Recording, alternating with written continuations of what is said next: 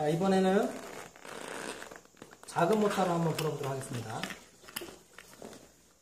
자, 여러분에게 제공되는 작은 모터로 이것은 지금 별매고요. 이건 제공됩니다.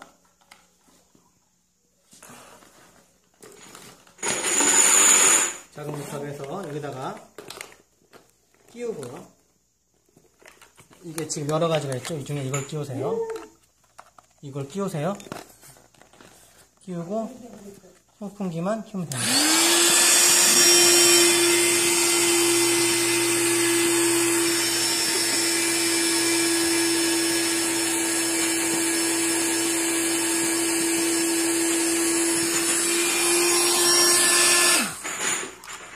역시 바람이 빠지지 않고요. 이번쪽으로 한번더 부어주시면 됩니다. 더러워졌을 때는 물티슈로 닦으면 깨끗해집니다. 감사합니다.